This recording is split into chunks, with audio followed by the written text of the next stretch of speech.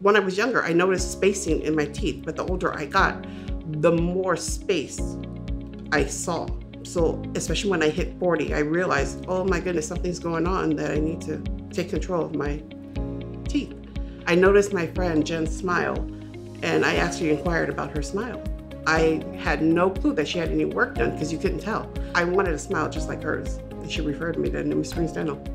So I'm happy with my smile. I'm happy with the work that was done, my crown. Um, it doesn't feel any different. You notice the difference, but it doesn't feel any different. Um, I'm really happy with the instructions they gave me to care for it. Um, very simple, but even for my cleaning, just coming in for the cleaning, very cautious care for my cleaning.